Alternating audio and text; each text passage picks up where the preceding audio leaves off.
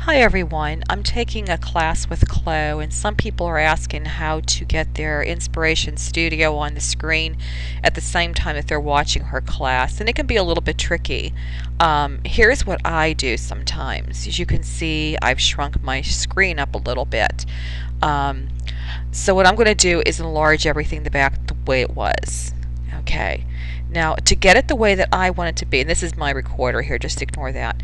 Um, to get it the way that I wanted it to be, it's like she taught in class, you're going to see a dash line that says minimize, then you're going to see two boxes that says restore down, and then you see an X which is to close the program. You want the middle one that says restore down, it's two boxes together.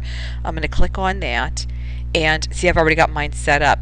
But initially, when you do that, you're going to get something like this. So all I've done is just gotten my arrow key, on the side here and just pushed it in until just my mat shows. And it takes some, you know, playing around to get it to do that.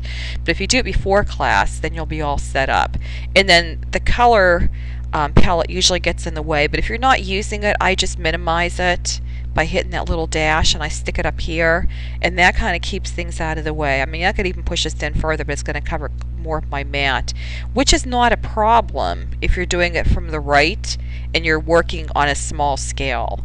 Um, another thing that you can do is move this around when you need to using the top part of the bar in your arrow or you can hit the minimize here and that way you can watch everything as she's doing what's going on and then just hit the Pazzles inspiration and it comes back right where you left off. So I hope that this helps you.